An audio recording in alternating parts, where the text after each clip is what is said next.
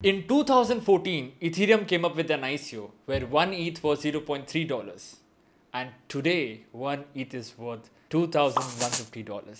So if you had invested 1000 rupees in 2014, today that 1000 would have been 71.6 lakhs. तो भैया ये Ethereum है क्या चलो सीखते हैं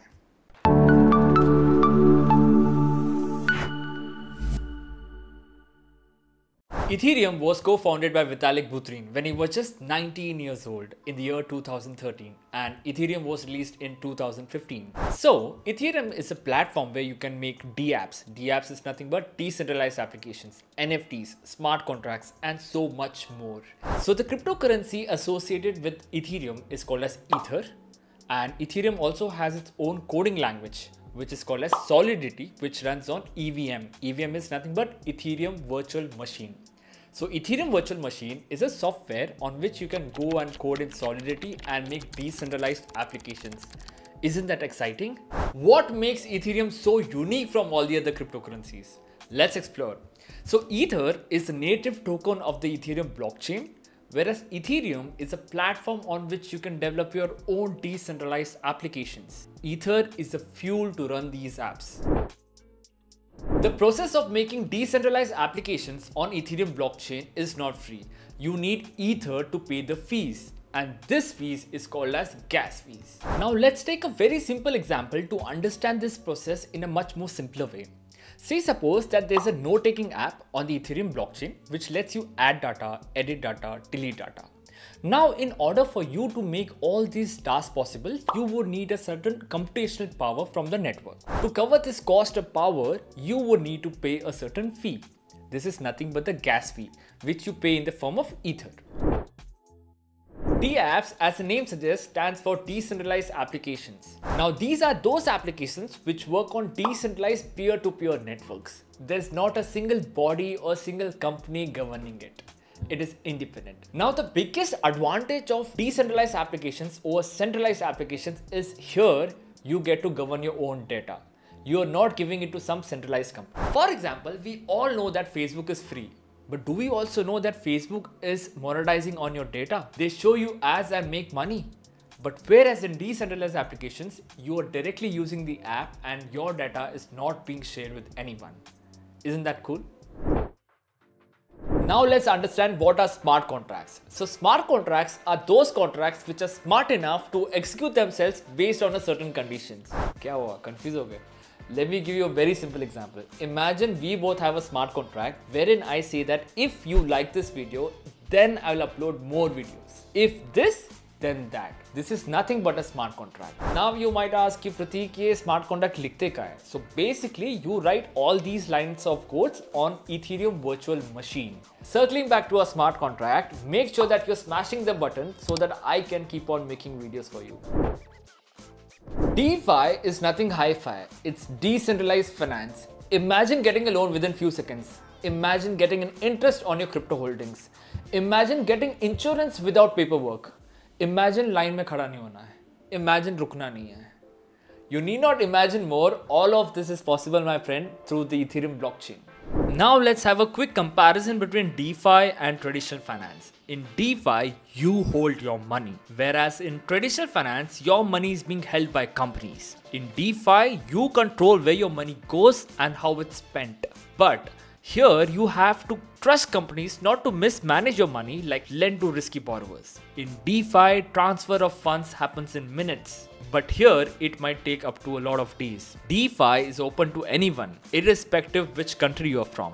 But in traditional finance, you have to apply for these services. For example, Aadhaar card देना पड़ेगा पैन कार्ड देना पड़ेगा न जाने कितने डॉक्यूमेंट्स देने पड़ेंगे उसके बाद ही आप ट्रेडिशनल फाइनेंस के कोई सर्विसेज ले सकते हैं D phi is open twenty four seven But whereas traditional finance is not, DeFi is built on transparency. Anyone can look at products data and inspect how the system works. But whereas financial institutions are closed books, you cannot ask to see their loan history or record of their managed assets and so on. So definitely DeFi is still new. We'll still have to wait and see how that progresses. But what is more interesting is $55.35 billion is already locked in the DeFi protocol running on the Ethereum blockchain. How cool is that?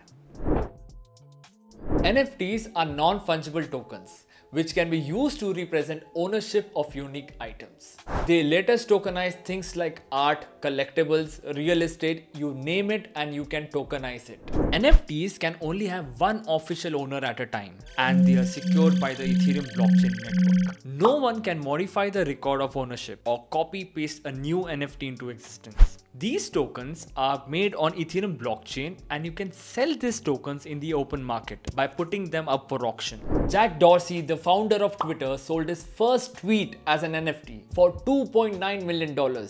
Isn't that exciting? Let me know in the comment sections if you want a dedicated video on DeFi and NFT.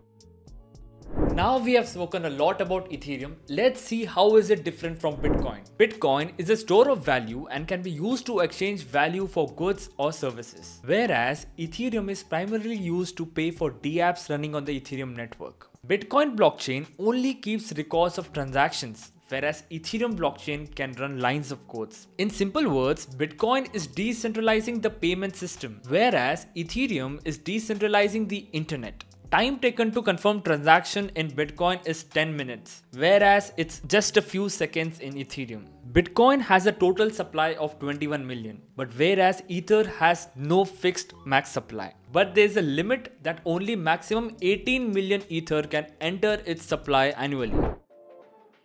If you're still watching this video, I'm really glad and now I'm gonna tell you what Ethereum 2.0 is and how this is going to change the whole ecosystem. So as you know, Ethereum is growing at a rapid pace and there are a lot of decentralized applications coming on the Ethereum blockchain. With these, there are a lot of problems arising as well. For example, high gas fees. Proof of work is leading to carbon footprint of the network. Low scalability. Right now, the Ethereum blockchain can only manage 30 transactions per second and Ethereum 2.0 is nothing less than a software update. जैसे आपके phone में एक नया update आता है और आपका phone तेज़ हो जाता है Similarly, Ethereum 2.0 is an update on the existing Ethereum blockchain. Ethereum 2.0 is aiming to become more scalable, more secure, and more sustainable. Now let's try and understand how.